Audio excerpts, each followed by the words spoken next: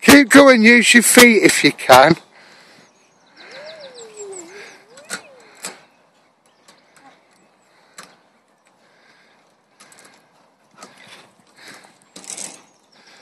He's loving it in there, isn't he? Just reminded me of Tyson he did over there.